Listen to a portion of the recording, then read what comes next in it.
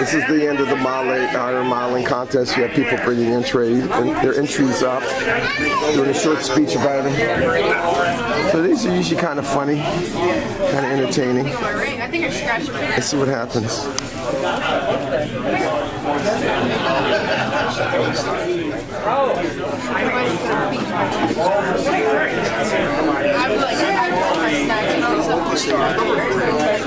I'll try to get a little closer.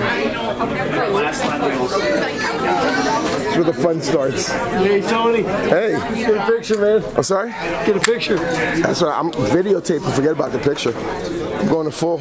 Cheers, man. Thank you. You too.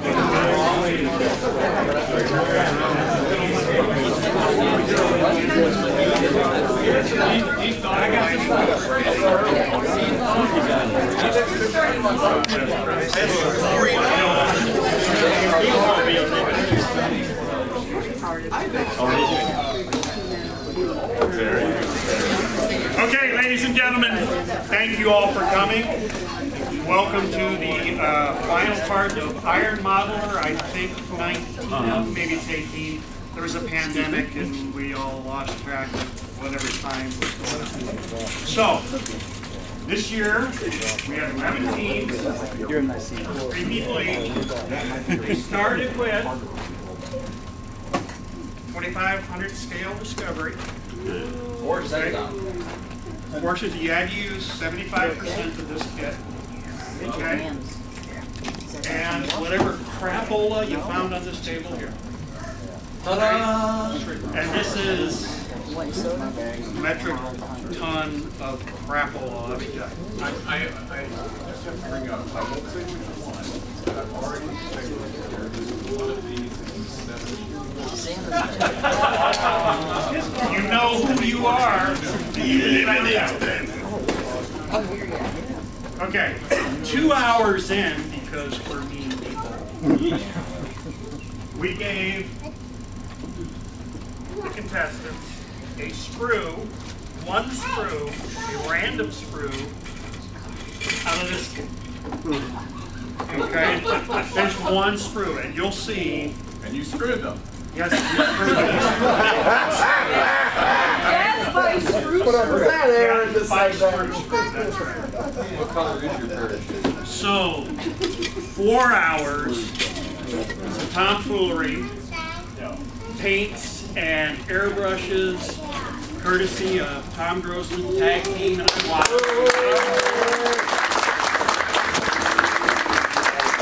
you have what you see before you, which the contestants are going to come up and explain in just a moment.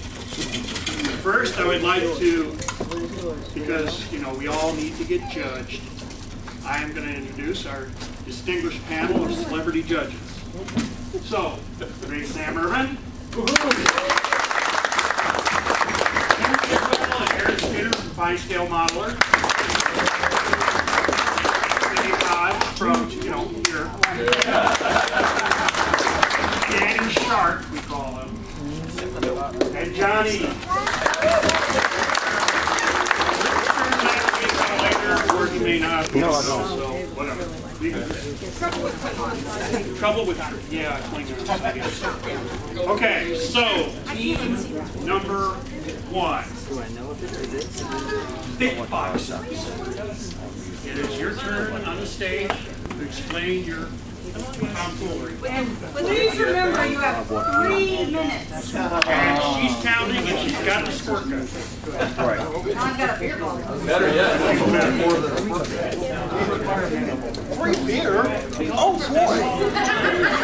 This is a tug that was used in uh, spaceports by a family started by a man by the name of Mark. Built this from scratch and for many years had a very successful space tug business. He had a ne'er-do-well son who went off to seek his fame and fortune in the universe and got tangled up in a rather unsavory business of making edibles. The, uh, uh, he decided it was a good idea to come back to the family roost and hide out from various illegals. And uh, in the process, Dad said, that's great, that's what we should do, join the family business. So took it upon himself, once Dad wasn't paying attention, to paint up the rather traditionally utilitarian tug, uh, all kinds of interesting accoutrements and make it his own. And he has now transformed this into an edibles delivery business anywhere in the Middle East.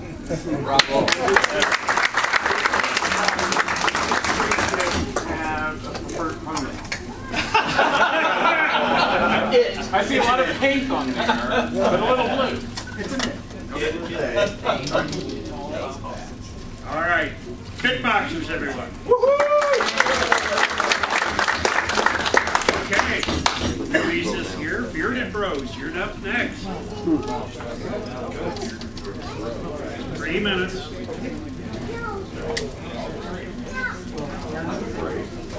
I'm-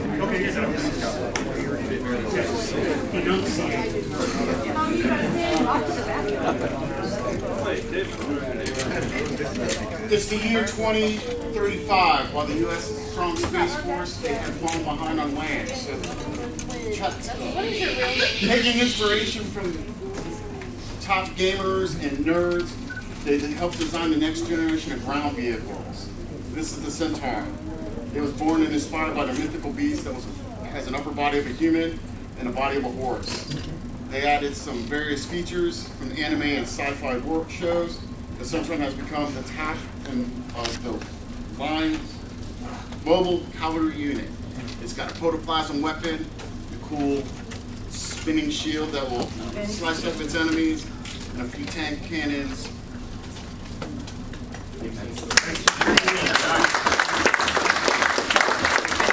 Why we make you type your entry. Bearded Bros, everybody. Next up, grumpy old modelers. Wait, that's everybody.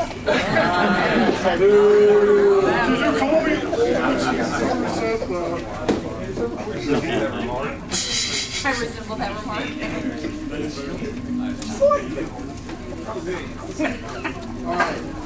So this is the Space Jesus robot that we built.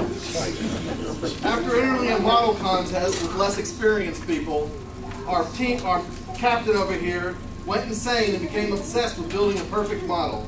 So he went out in the hallway, downloaded a program from the dark web to control all kinds of lights and stuff. The program turned out to be a transmission from a U.S. space probe that crashed into a space god, which caused the model to become self-aware. The model travels the universe trying to bring other models into being self-aware, I guess.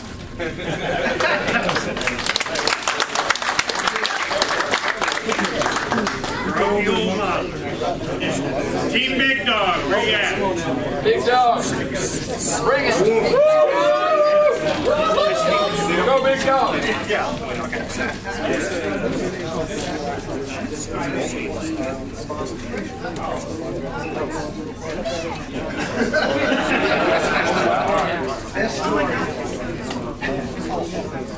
is USS Lobstar, uh, the only seafood restaurant in space. With our famous all-you-can-eat bioengineered shrimp and cheesy biscuits.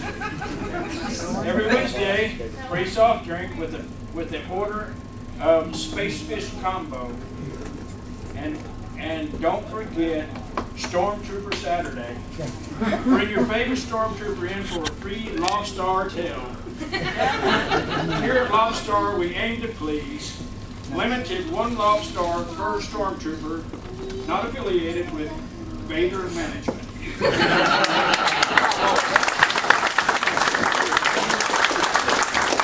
right, Big Dog, thank you. Is that a lobster? I'm sorry. Eel, lobster, eel, T A L E? Or A I O? That's a great question. All right, lads, where you at? That's a great question. Yeah, but.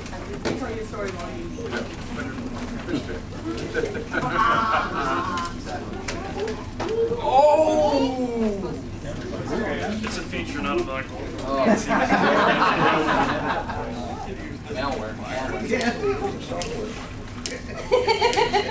Long live the nameless one! In dark earth he reigns. Blood we drink His sword the many's bane. His etherealness causes one to think. His boundless forty overfloweth. In dark earth he sleeps. His name be forgotten forever henceforth. To forget his name we, We drink. drink. Dorim Antonim no hane pare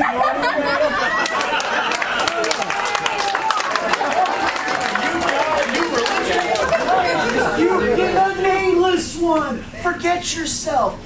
Gather material wealth. Bury yourself in the earth.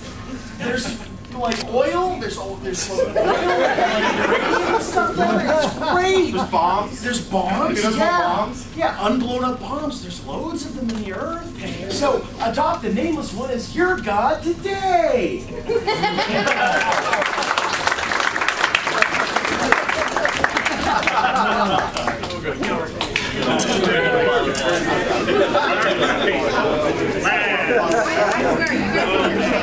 Yes. Well, first contact, where you at, guys? We won once and then not. First of all, Artie's fabulous. I mean, this is one of the best. And we should know. You know why we should know?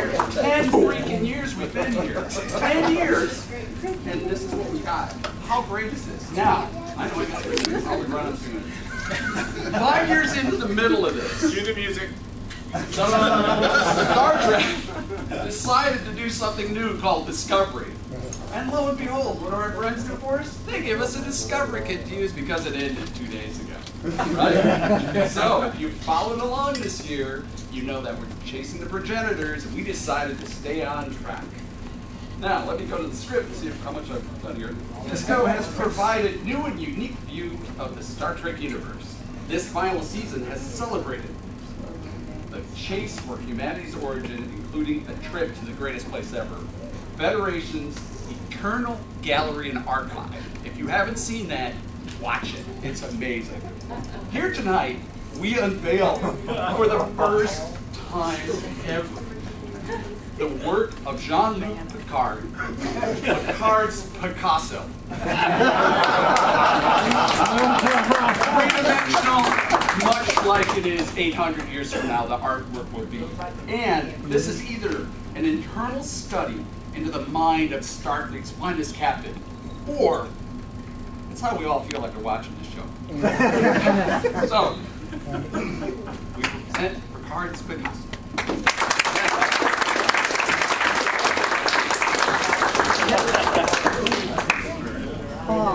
Is that like a hundred Bible thing?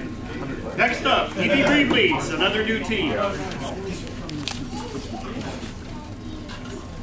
Chew. okay. Full disclosure, this movie pitch was written by my son Taylor, who was to chicken. He's got a broken wing. Exactly. Okay, after the Second World War, well, meteors fell to Earth and crash landed. And when it hatched, a robotic chicken came out and wreaked Kentucky Fried havoc. uh, the, the survivors fled Earth, and uh, this robot chicken flew after them and caught them and ate them all. Um, so we present Mecha Robo Chicken minus one.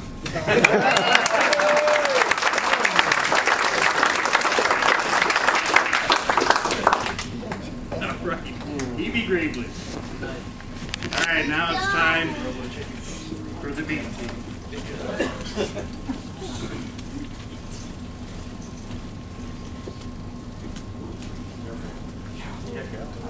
It's a bird. It's a plane. Oh no! Gun damn! It's a giant Japanese fighting robot. what a normal Gundam just won't do, Super Gundam to the rescue.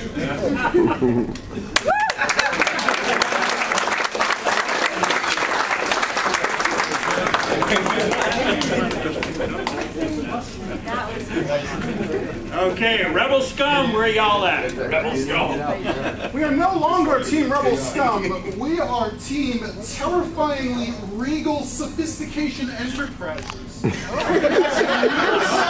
for your kaiju elimination needs. One for the distinguished galactic leaders. We proudly and gleefully present the TRS X1.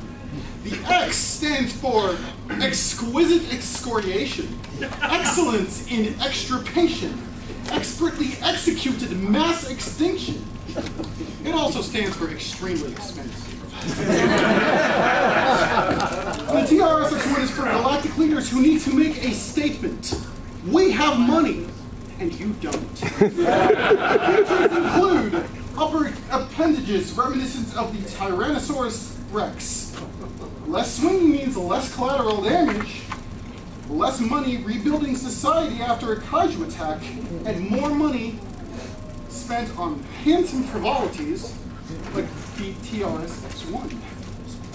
Proton ray blasters with precision micron homing capabilities. One shot, one disintegration. Even its visual acquisition sensors scream style and sophistication with a slick smile and sporty solar shades. TRS-X1 is the pinnacle of precision, poise, power, and prestige. But let's be honest, you probably can't.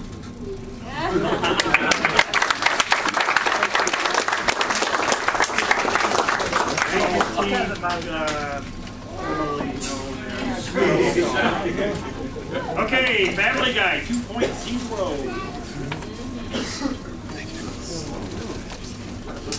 Wow, they're pretty young for this crowd. Good to see you. No, we're, we're going to go next route, and then we're going to be a team of Scott. So our story here, a family of three is stranded in a deserted land. The only thing standing between them and rescue is their lack of engineering know-how, total disregard of symmetry, and abundance of super glue. So, I'm going to introduce the USS Glue Bomb. copyright 2024, if anyone wants 3D scans that's available for the next five days, just let us know. So, and the big trick is, if they don't go up, the wheels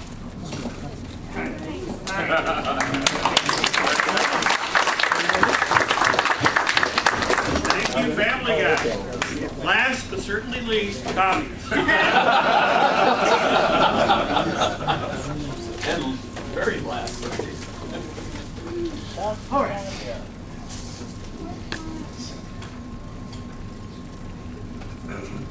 You've all heard space, the final frontier. Right? Well, wrong. Death is the final frontier. and the Necronauts are coming. The Necronauts.